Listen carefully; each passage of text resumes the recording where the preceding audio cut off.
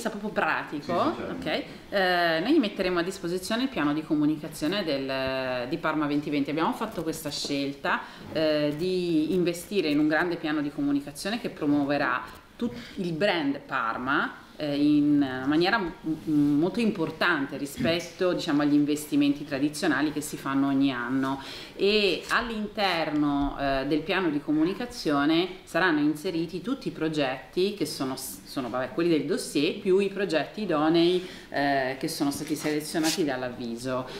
quindi in, ehm, daremo un, una forza, una visibilità eh, molto ampia al, ehm, al sistema diciamo, culturale, al programma culturale, non solo nella sua interezza ma anche sui progetti. E in più ehm, dal punto di vista organizzativo parlando con chi fa i progetti, quindi negli incontri che faremo, cercheremo anche di eh, costruire delle, delle, linee, dei fil rouge dentro il programma, perché altrimenti il pubblico non capisce. Eh, sicuramente uno sarà il contemporaneo. Eh, noi abbiamo all'interno del dossier una iniziativa che si chiama Temporary Science, eh, segni temporanei, è un bando aperto ai giovani artisti under 35 che facciamo insieme al GAI e secondo me per esempio su un'iniziativa del genere potremo attivare una collaborazione. Eh, ma non solo, ci sono altre iniziative di arte contemporanea che dovranno diciamo, trovare un minimo comune denominatore e poi essere promosse come un sistema, una riflessione sull'arte contemporanea sul territorio, non soltanto su il centro storico di Parma, perché noi quando parliamo di Parma 2020 parliamo della provincia e anche di Piacenza e Reggio che insomma da, anzi da qualche giorno hanno cominciato anche loro a sono entrati in pista e stanno programmando per l'anno prossimo. Quindi secondo me ci sarà eh, veramente un grande lavoro di squadra che aiuterà eh, Parma ad uscire in maniera forte dal punto di vista della comunicazione a livello internazionale mm, grazie anche ai partenariati che stiamo facendo con i media. Parma 2020, dei momenti di riflessione cadenzati mensilmente sui temi della cultura e della società, dell'economia, sui grandi cambiamenti, il passaggio necessario da una società che si misura eh, su un sistema finanziario a quello eh, invece più legato alla qualità della vita. Noi dobbiamo andare verso questo e queste operazioni ci aiutano a costruire persone più consapevoli di questo, più forti nelle loro scelte, che sono in grado di dire io scelgo sì una strada più difficile ma che mi porta a un risultato che sia sostenibile per il mio territorio dove la cultura sicuramente ha un ruolo fondamentale perché è quella che ci aiuta a scegliere, quindi aiuta diciamo eh, la crescita del capitale umano che è quello che fa la differenza. La cultura ci salverà. Eh. La cultura batte il tempo, anche in La questo. cultura batte il tempo, ne siamo tutti convinti. Allora, voi capite no, dall'entusiasmo di queste parole che energia c'è attorno a questi progetti. Ecco, Torniamo un attimo al 2019 con la dottoressa Raffa, vediamo un po' di capire cosa si sta muovendo diciamo, per arrivare a quello che ci stava dicendo la dottoressa. È molto in linea con quello che dice Francesca, noi abbiamo dato come titolo all'anteprima PAMA 2020 che si terrà dal 20 al 23 giugno il nuovo ritmo della città, quindi diciamo è un po' questo il segno che si vuole dare, cioè una città che cambia ritmo, che cerca di accelerare ma nel senso positivo, cioè di arricchirsi di quelle che sono come si diceva, tutte le, le, le, le, potenzialità, di tirare fuori le potenzialità che comunque questa città non avremmo vinto capitale della cultura se non avessimo già dimostrato nel, nel dossier, nelle audizioni, tutto quel percorso preparatorio che abbiamo fatto che questa città aveva tante potenzialità. La logica di capitale della cultura non era di premiare la bella città, le ricchezze, perché eh, in Italia siamo tutti, tutte tante città belle, quindi potevamo essere tutti a competere nello stesso modo, ma di andare a premiare quel progetto che voleva appunto far fare un salto, che voleva modificare, che, voleva, che guardava molto al futuro. Quindi questo era un progetto che dimostrava che le potenzialità c'erano e che quel piccolo start-up che ha dato il Ministero, perché in fondo a livello economico devo dire che il milione non fa la differenza rispetto a quello che può essere il bilancio di un comune, di una città media come può essere Parma, ma fa, ha fatto la differenza la carica che ha data, quant'altro. E dal mio punto di vista la differenza fa che diciamo, la cultura è, sta diventando, sta cercando di diventare, eh, in parte lo è diventato un po' il centro delle politiche del comune. Quindi eh, mentre prima eh, io l'ho vissuto, che sono dirigente veramente da quasi vent'anni, quindi voglio dire ho vissuto un po' il comune poi anche in tanti settori e quindi ho visto le cose da tanti punti di vista, quindi posso dire che la cultura è sempre stata un po' nella macchina comunale, nel bilancio comunale un qualcosa che sì, beh, è bello, ma come dire, è il superfluo, è il superfluo rispetto al fatto che dobbiamo concentrarci sulle strade, sul sociale, sui giardini, su quant'altro. Il cambio di passo è capire che la cultura invece può essere il motore di, tutta, di tutto quello che è la rigenerazione della città, la sua energia positiva, l'arricchirsi e quindi può in realtà essere quasi il fulcro, il centro di, di, tutte le politiche che in realtà in qualche modo possono fare invece centro sulla cultura,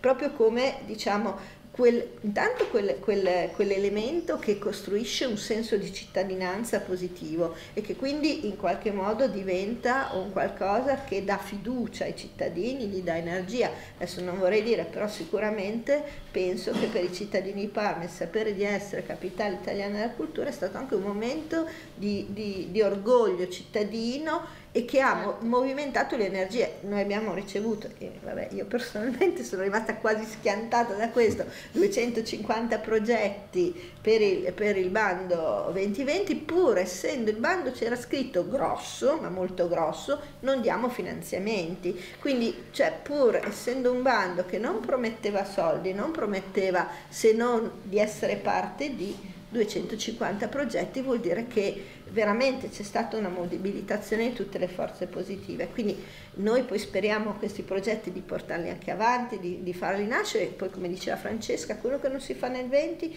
si farà nel 21, però come dire, le persone hanno fiducia, cominciano a pensare, a ragionare, si sono create anche delle reti tra le varie associazioni, tra i vari soggetti, c'è una conoscenza reciproca maggiore e questo appunto ci aiuta a fare meglio negli anni successivi. Quindi è è questo un po' il nuovo ritmo il nuovo della ritmo. città. Ecco, quindi c'è un lavoro dietro enorme che è iniziato anni fa, c'è una consapevolezza nuova e quindi anche da parte delle istituzioni, ma soprattutto della città che sta facendo rete. Io credo che questo sia un messaggio importante, io da mamma, per i nostri ragazzi, perché devono avvicinarsi maggiormente a questo, a, questo approccio, diciamo così, culturale e, e soprattutto anche formativo perché noi appunto dobbiamo avere rispetto per la sostenibilità, per, per la nostra città e, e quindi questo mi sembra il contesto migliore per proporlo.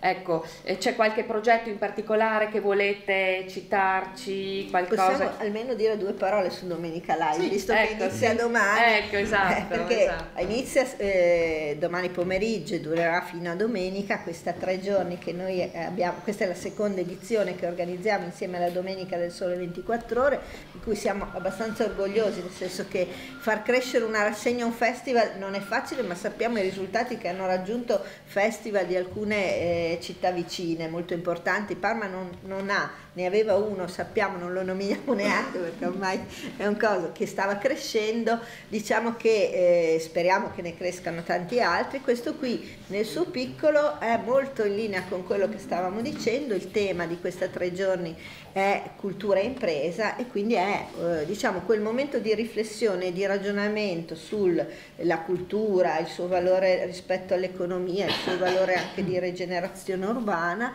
e quindi diciamo è una tre giorni che eh, come quei momenti di riflessione di cui parlava prima Francesca aiuta tutti a crescere anche dal punto di vista delle competenze sia gli operatori culturali e tutta la città e di apprezzare meglio confrontandosi con le altre realtà perché in, questo, in questi tre giorni noi avremo eh, diciamo, la nostra università perché abbiamo progetti seguiti direttamente da, dal nostro rettore e a giornalisti della Gazzetta di Parma che saranno presenti, Rinaldi, ci sarà eh, nostro direttore. direttore. eccetera. Quindi eh, giornalisti della Gazzetta, tra l'altro la Gazzetta è sponsor di, di, di, questa, di questa, tre giorni e eh, avremo domenica distribuiti insieme la domenica con il sole. Quindi eh, ma eh, poi gli ospiti sono invece rappresentanti, vengono da tutta Italia, personalità di rilievo significativi, magari non sono il nome tipo Pupi Avati che avevamo l'anno scorso conosciuto, ma sono in realtà persone che hanno alle spalle delle esperienze importantissime o di fondazioni o di lavoro sulla cultura da cui veramente possiamo imparare che possono tanto. raccontarci ci, tanto. Ci possono fare crescere, che è quello di ecco, cui abbiamo bisogno. La Gazzetta ne, ne darà conto ovviamente. Certamente. Se posso, sì, è certo. molto interessante interessante il fatto che eh, ci siano Domenica Live contemporaneamente questa manifestazione venerdì, perché eh, mi fa pensare alla eh, Domenica Live parteciperanno appunto come ha detto la dottoressa Raffa diversi personaggi interessanti del mondo della cultura e dell'impresa. Alcuni che hanno eh, cambiato il modo alcuni sono imprenditori che hanno trasformato completamente il modo di vedere l'arte contemporanea e l'arte e la cultura in generale dal diciamo, sistema classico di mecenatismo culturale portando la cultura all'interno dell'azienda. Eh, ci saranno Bonotto, Margaritelli, Smarrelli che sono Elica, vabbè, Bonotto ovviamente, Listone Giordano, che sono tre aziende italiane che sono famose per avere eh, diciamo, modificato i processi aziendali grazie grazie alla contaminazione con la cultura, eh, cioè cambiato proprio i loro prodotti attraverso delle, dei processi di libertà artistica che però poi sono entrati all'interno dell'azienda e hanno trasformato sia le persone che ci lavoravano che gli ambienti che i prodotti. E allora eh, voi che lavorate sull'arte contemporanea, la promuovete, eh, ci aiutate a riflettere sull'arte, io immagino nella stessa città in questo momento un incontro tra queste due anime. Eh, e, e veramente ci dice che Parma è capitale della cultura perché vuol dire che, so, che, c'è una riflessione a tutto tondo che la città sta portando avanti, da una parte con le istituzioni, dall'altra con i privati, e che veramente siamo nel momento, cioè stiamo facendo la cosa giusta e, e siamo insieme in questo percorso. Allora io dal mio punto di osservazione, che chiaramente lavorando per le pagine di economia della Gazzetta è, eh, sono le imprese di Parma, gli imprenditori, io posso, posso dire con certezza che eh, questo, percorso, questo, percorso, illuminato esiste ed è, ed è molto sviluppato nella nostra sì. città. Ci sono aziende, la prima fu Barilla che